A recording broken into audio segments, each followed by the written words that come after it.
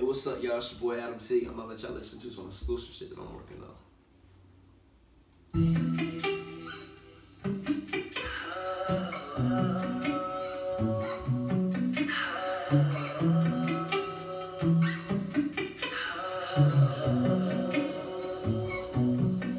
Girl, let's get faded.